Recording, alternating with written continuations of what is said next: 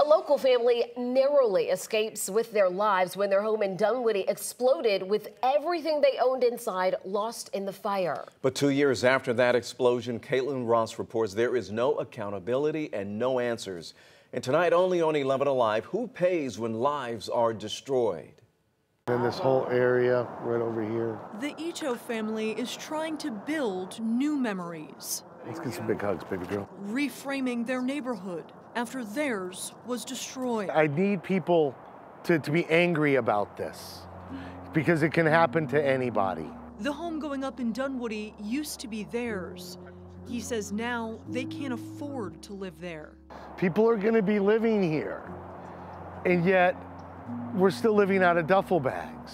He says they had to replace everything they owned out of pocket. So did their neighbor, Sybil Williams. It's, it's sickening.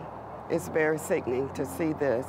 And I haven't had anything rebuilt or, or, restored or refurbished. It's a lot of damage. I mean, the building is um, pretty much gone. Days before Christmas 2020, the unthinkable happened.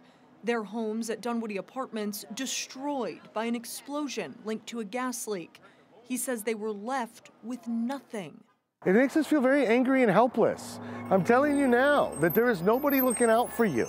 11 Alive obtained this preliminary report from the Georgia Public Utility Commission, finding Payne Drilling and Atlanta Gas Light responsible for the explosion.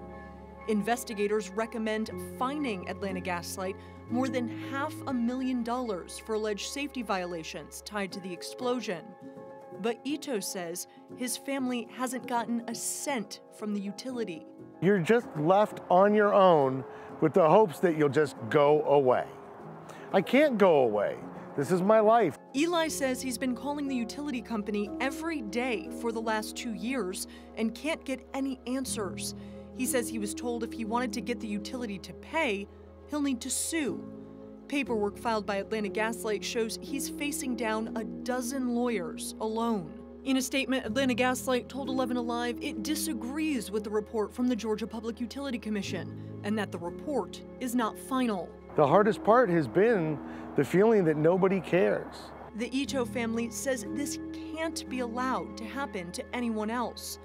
They want to build a framework of responsibility. I know the world isn't fair, but this is not right. This is just not right. Atlanta Gas Light told 11 Alive Payne Drilling was responsible for the explosion. No one at Payne Drilling would talk to us, and that company is now out of business. The Georgia Public Utility Commission should make their final ruling soon.